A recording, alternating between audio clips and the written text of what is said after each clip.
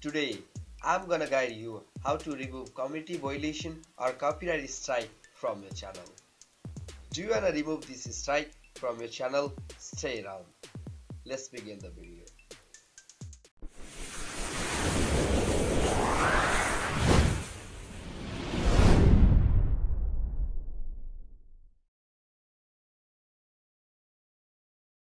Go to your channel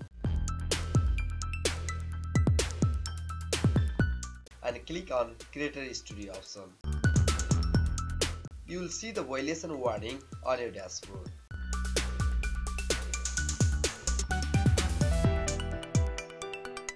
Click on the warning message. You will see the video that violate YouTube rules.